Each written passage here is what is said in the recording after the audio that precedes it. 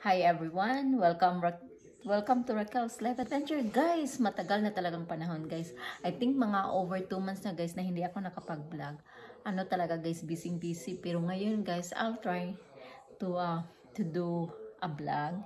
Um, excited kasi ako guys. So, uh, di ba Pasko na guys, malapit ng Pasko. So, uh, I need to start uh, doing my Christmas decoration. Um, day off ko ngayon guys. So, uh, subukan ko mag, mag ano, mag uh, Christmas decor. Uh, but then, uh, I, I have an item that I'm so excited to open up and then do something about it. Ipakita ko sa inyo guys, ito guys.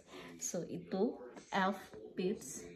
Binili ko ito nung last year after the uh, Christmas kasi pag bibili ka ng bagay na after sa ano sa season ano siya guys on sale. So kaya binili ko ito guys kasi on sale.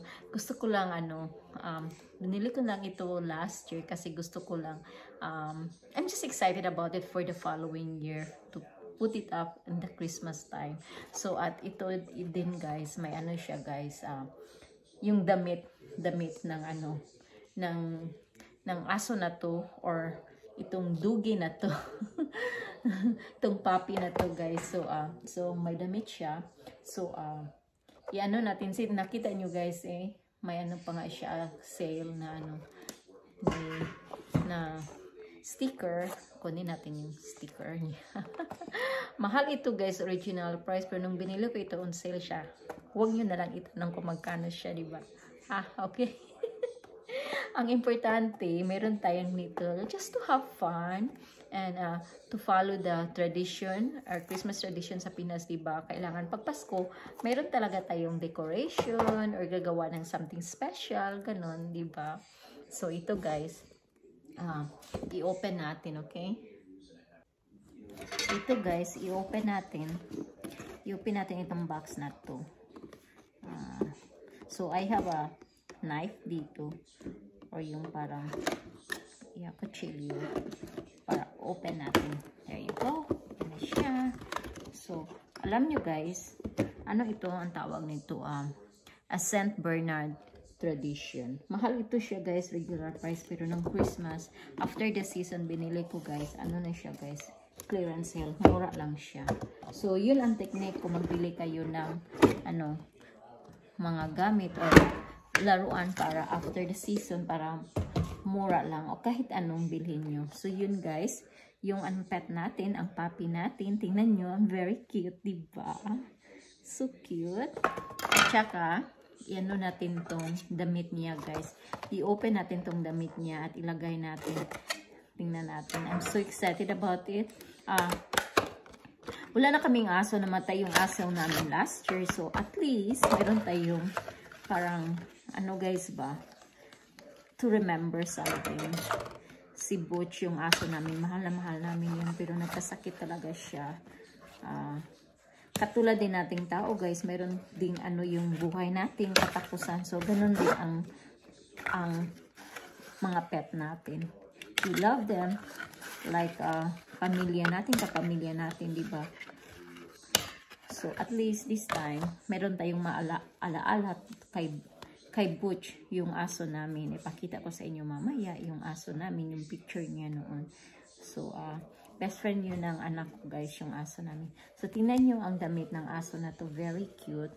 At saka, may pangalan talaga, guys. Elf Pits. Mahal itong Elf Pits, guys. Itong mga ganito. Uh, pero nung binili natin siya is clearance. So, nakamura tayo. So, tingnan nyo ang damit niya. So cute, diba? So, we're going to put the damit niya. So, it's for the itong ano niya, paa niya, guys. Ano natin dito. Meron akong anim na ganito, guys, na bili ko. Pero, yung damit nila, tatlo lang. So, tatlo lang ang madamitan natin.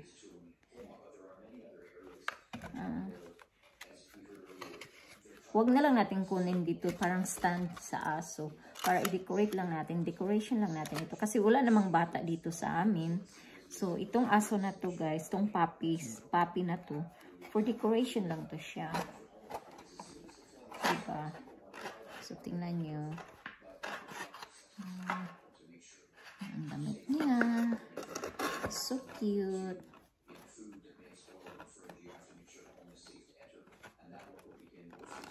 Ayan. See?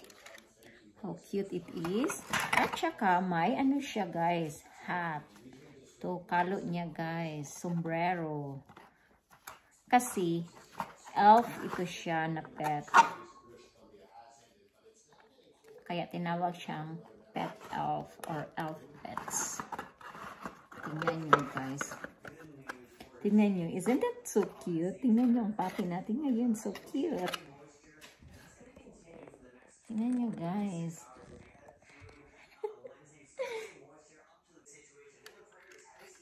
Tingnan nyo guys. Isn't that so cute? Hi! Merry Christmas! We're just having fun guys.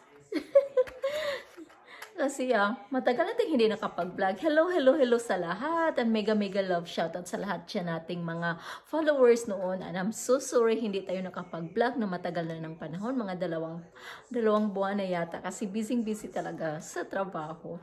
Alam niyo naman ang life natin pag may trabaho tayo guys, di ba?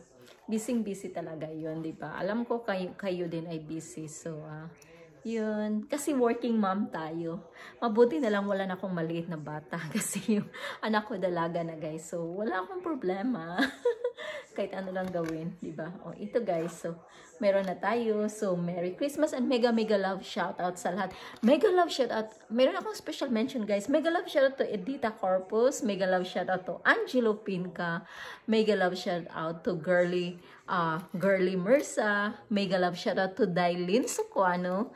Mega love shoutout to Maria Divina. And mega love shoutout to Tetricentis. Ito guys, mga ano talaga ito guys, na mga tao na mini-mention ko sa inyo guys. Mga mababait at nandyan lagi sa atin. Mga follower natin.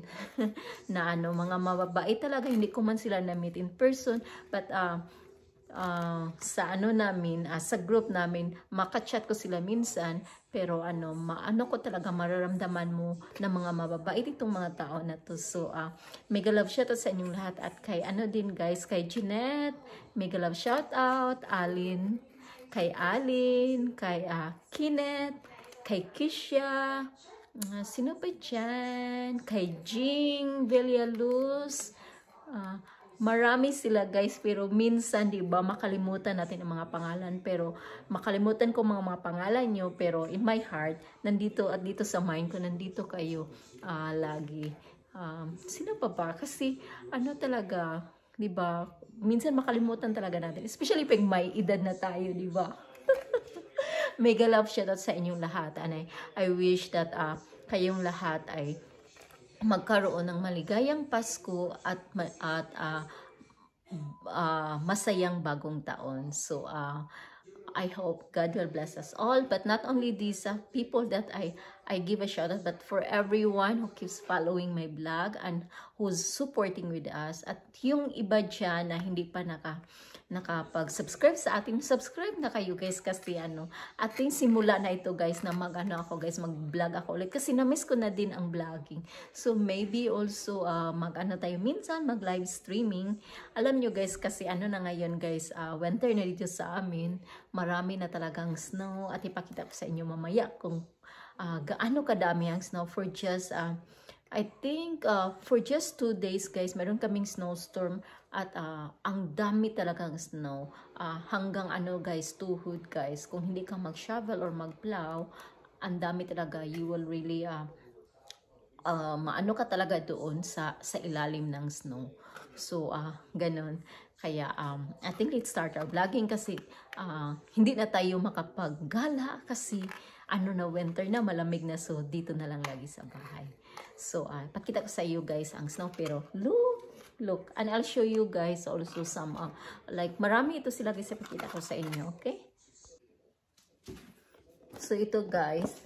Marami kasi akong nabili. Kasi uh, sabi ko sa inyo, mura talaga siya. Uh, Nag-sale talaga siya kasi after na ng ano, uh, Christmas, Christmas yun na panahon na yun. Kaya uh, binili ko. Kasi gusto ko sana ibigay sa mga bata.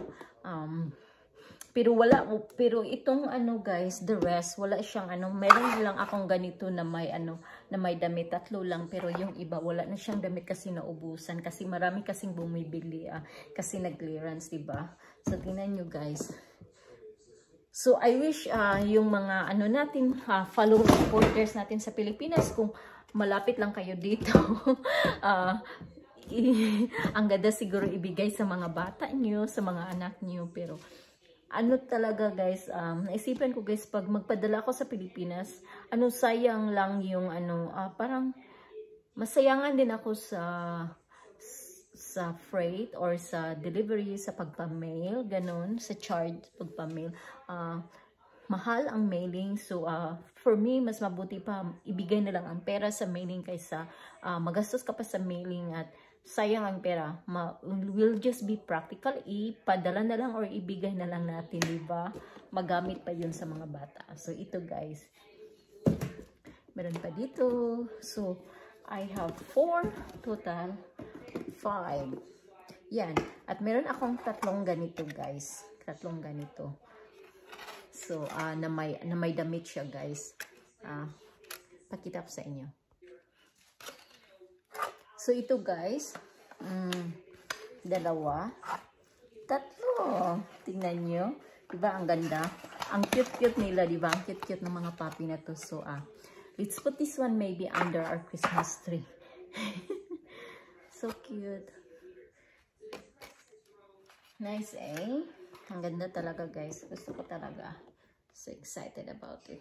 And alam nyo, guys, ito, na ano siya, itong na-set na to. May book siya guys kasi para talaga ito siya sa mga bata. So tingnan nyo. Ito yung libro niya.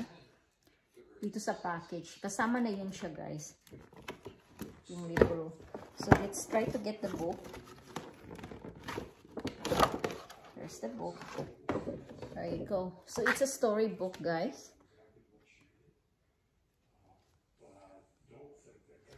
So there's the book. Outfits. So Saint Bernard Tradition. So ito yung libro niya guys. So it's a storybook kasi para siya sa mga bata. So yan yung So tinan nyo yung elf. Hmm.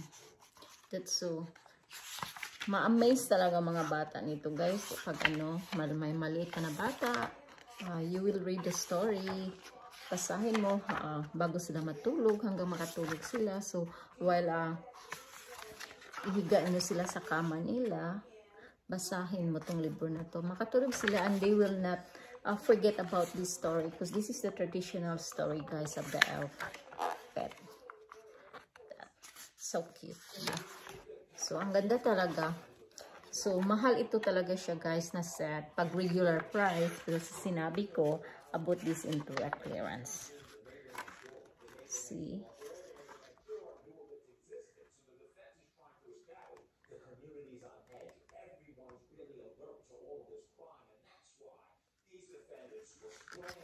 So this is a traditional pit, so we have to keep it, guys. Uh, we will respect the tradition of the uh, Saint Bernard. So that's why it says, a Saint Bernard tradition. So uh, it's even it says in the book here, as you can see, here at the back it says, we welcome our elf pit Saint Bernard on, and you need to put the month or and the year also, and we choose the name, you, you give the name, and then we promise to do good and carry our acts of kindness to help build Christmas uh, cheer.